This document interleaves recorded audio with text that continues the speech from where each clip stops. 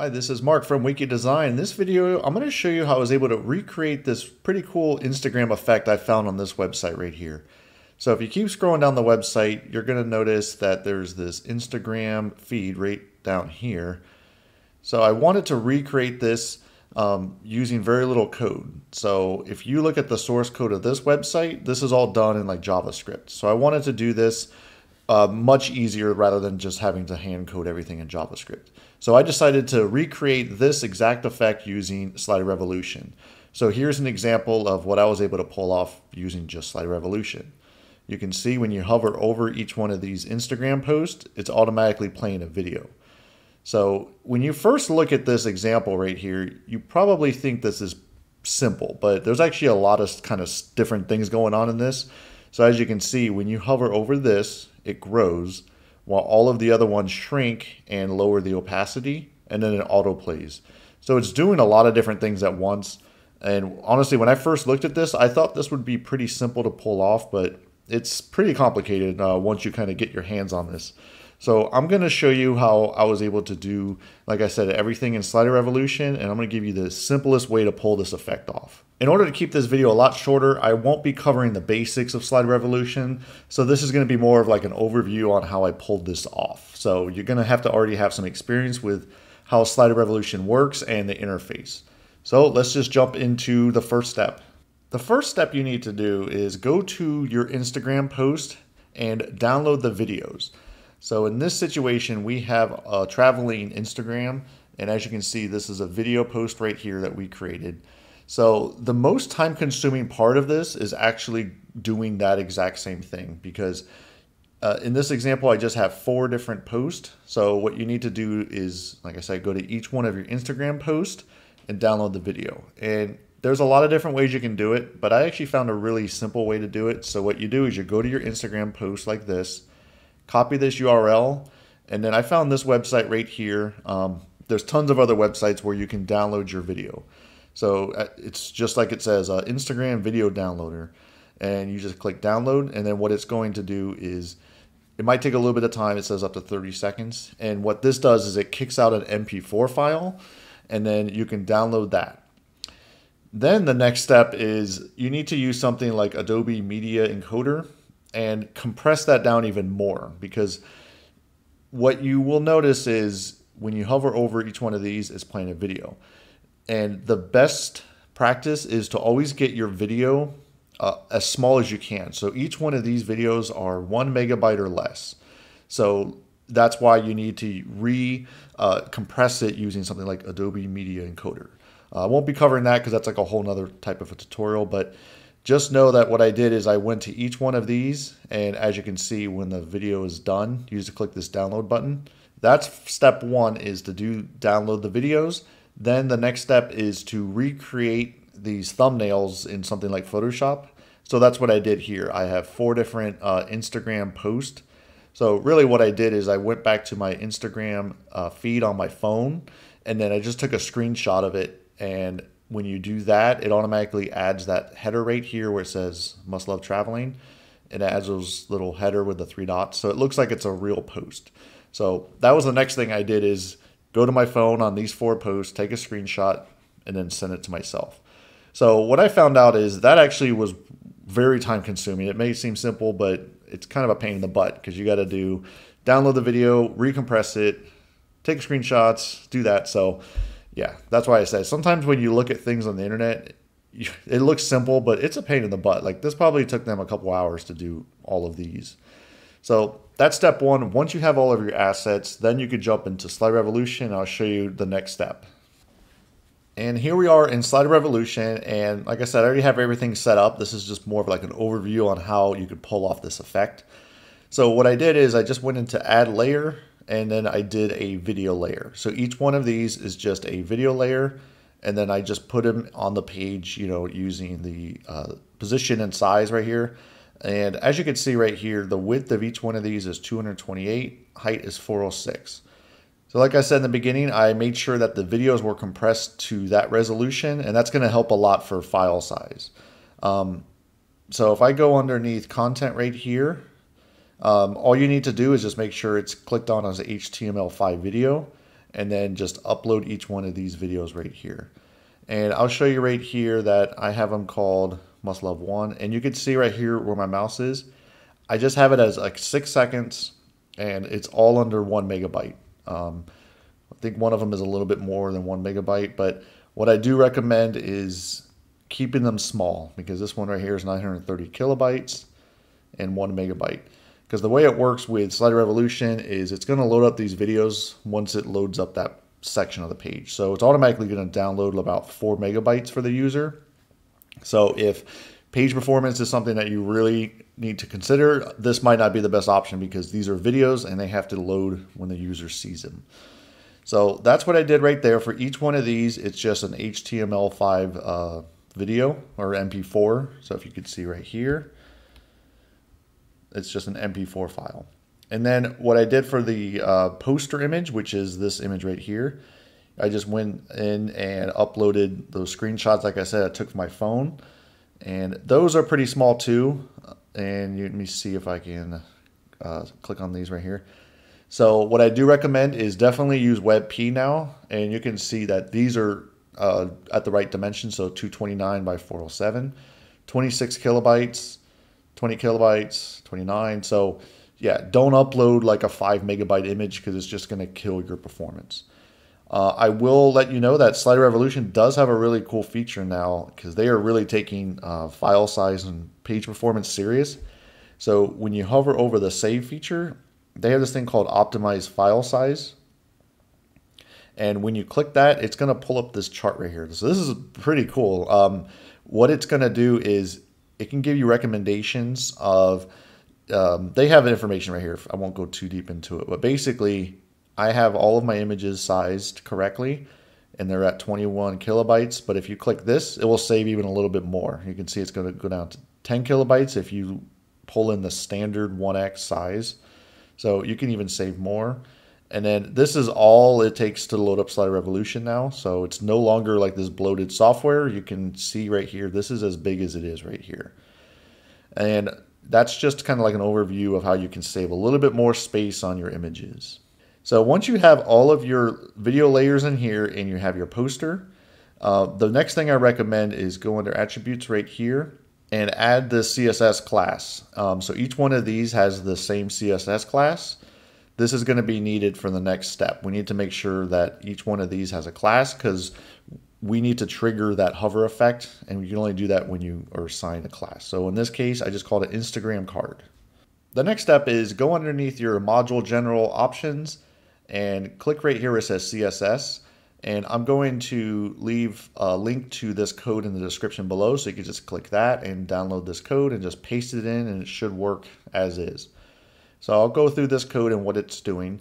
So the very first one is, let me remove this code so I can show you what's happening. If you don't have that little bit of CSS code in here, when you mouse over each one of these videos, you're going to notice the cursor goes to that pointer. So you don't really want that. You want it to look like that, if that makes sense. So you see how it looks like it's given the user the ability to click on something? That's just like a Slider Revolution default code. So once you put that code in here, right, uh, cursor equals auto, it's going to automatically always keep it at this pointer. So it's not going to look like the user can click on anything.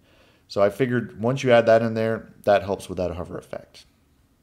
And then the next code is this right here is what we're going to be looking at. If you remember from before, we just added that class called Instagram card. And what I'm doing is you need to make sure that the transform is at a scale of one. So that means basically 100%. Because if you notice right here, we're scaling up and down with these other codes. So we need to tell it with CSS, scale at one. And then in a lot of cases, I've noticed you have to add this important to it. Um, and then the transition, we're just doing it where it's easing in and out at 0.2 seconds. And then this is optional. If you don't want a box shadow, you don't need to put that on here.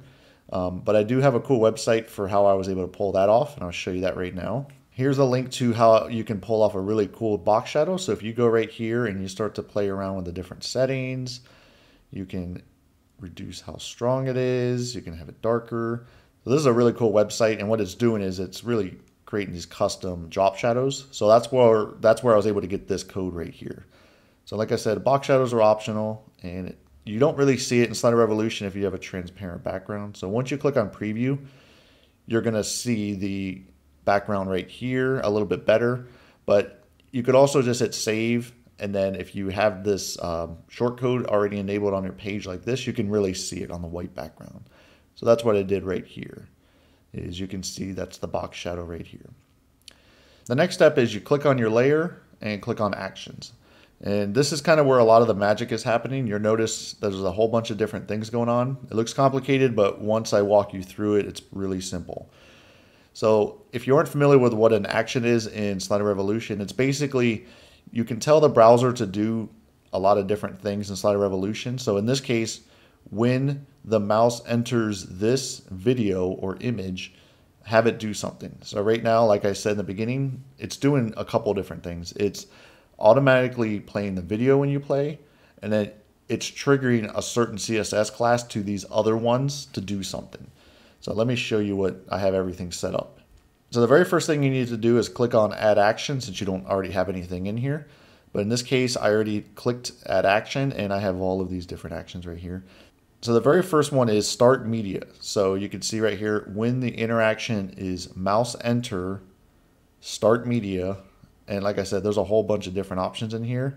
But what you need to do is go underneath where it says media actions and start media. And what that's going to do is target this layer right here, start video one. And I don't have any action uh, delays or anything like that. And then what you need to do is every time it does something, whether it be mouse enter or leave, you need to tell it to do something. So then when the mouse is leaving, stop the media. So you can see right here, interaction, mouse equals leave, stop media, video one. Okay, so now if you just have that, it will automatically just play the video and not shrink any of these other ones. The next step I had to do was go ahead and tell it for video two, three, and four to do something as well. And in this case, it's called toggle class. And what this is going to do is when you mouse enter video one, have it toggle the class for video two. I know it's a little complicated, but just follow and then it'll make a lot more sense. So when the user is mouse entering this right here, video one, toggle a class. You can see right here underneath layer actions, toggle class. And you want to target number two in this case, which is this one right here, video number two. And then right where my mouse is, that's video three and video four. So have it where when the mouse enters, toggle for layer two. This class right here called card hover. Now let me jump into that CSS we just copied and pasted so you can see what it's doing. So as you can see right here, I have this special class called Instagram card and card hover it's going to transform to a scale of 0.9. So that's why it's shrinking down and I'm changing the opacity to like 0.3. So that's what it's doing right here. This one right here for the video too, if you keep an eye on it, that's scaling down to 0.9 and adding an opacity of 0.3. That makes sense? So you hover over that, it's doing scaling down and 0.3 opacity. That's what this code is doing. And then it's also doing Another thing right here called Instagram card hover is transform 1.2. So you can see right here when you hover over this one right here, it's automatically scaling up to 1.2. So it's no longer at, right now it's at 1. When I hover over, it's 1.2. These go to 0.9. That's why I said in the beginning, you may think that when you see stuff like this, it's simple to do, but you kind of have to do three things at once. So that's what all of this code is doing. It's literally doing three things at once. It's scaling 1.2 for hover. All the other cards are going to 0.9, and then it always has to default back to something. So that's why this code right here is very important as well. Always has to animate to something. So let me go back into the actions and we'll cover what else is in here. And like I said, when the mouse is leaving, you want to turn off that class of hover. So on video Two, when someone hovers over it, it's going to take off that card hover. And then all you have to do from that point on is just hit this duplicate button and then just do that for all of the other videos. So in this case, uh, you want to do it for video three as well. So let me move this over here so you can better see. So when the user is hovering over the first video right here, it's also going to toggle that class on and off right here. So where it says video 3, you want to have it where it leaves, turn that off. Same thing for video 4. And what's cool is you can see right here when you click on video 4, you're going to notice that it's going to highlight it right here. So it's kind of easier to see. So you want to make sure that you're selecting the right um, videos. And if you aren't familiar with where it's pulling this video one, two, three, and four name from, it's right here. If you see when you click on a layer, this is the name of the layer right here. So video one, when I click on here, that's video two, three, and four. So if you have some weird names, always want to you always want to make sure you have your layer names really organized because it's going to make your life a lot easier on this actions panel. So that's basically how you pull it off is the actions tab is going to be the most important part. And as you can see when I click on video 2, um, I'll quickly go through everything right here, but it's basically just a duplicate of everything that we just talked about in uh, the first video right here, but I just duplicate these tabs. So in this case, we have it where video 2, which is what is selected right here, when you enter, start the media for video 2. When you leave the mouse, stop the media for layer 2. And then you can see right here, this is the toggle class for all of the other ones besides video 2. So now we have a toggle class for number 1. So enter, toggle this class card hover. When you leave, turn off the class card hover. And same thing for video 3 and then video 4. And then, yeah, same thing. So if you just click on the third one right here, click actions, it plays the video for 3 and then it toggles all the other classes besides number three. So we got one, two, and four, and then same thing right here. Four is the same thing. So it's pretty simple once you kind of understand how the actions work inside of Slider Revolution. And like I said, that's the most important component to all of this is making sure that all of your actions are working correctly and your all of your class names are matched up. So if you start to run into any issues, just go back into your CSS right here. Make sure that all of your class names are correct. If you're not using uh, Instagram card or card hover, you're going to want to make sure that everything is matching up here correctly and it all should work. And that's it. So once you have everything done, you just go ahead and copy this short code right here and just put it into your WordPress website. Um, that's what I like about Slider Revolution. You're not tied to any specific page builder. You can add this to, into any WordPress website that takes a short code. And then if you are concerned about how it's going to look on mobile, you can always go into your uh, different settings right here. So if you go underneath layout, um, let's say in this case, I wanted to enable it for mobile. You can go ahead right here, click the on, and when you go to mobile, you can change how it's positioned. You can change the sizes. Um, now, what I did notice, what's pretty cool about mobile and the way Slider Revolution handles this, when the user clicks on this on mobile, it pulls up the video in full screen. So it's playing like a native um, full screen version of the video. Um, at least on my iOS device, that's what I tested it on. I haven't tested it on uh, Androids really. But when you click it, it will automatically pull up the video in full screen, and then you can just minimize it, and then you can go back to the other video. And that's it for the Slider Revolution video. Make sure that you give it a like, subscribe to this YouTube channel, and hit that bell to receive notifications when I release new tutorials like this. Again, this is Mark from Wicky Design.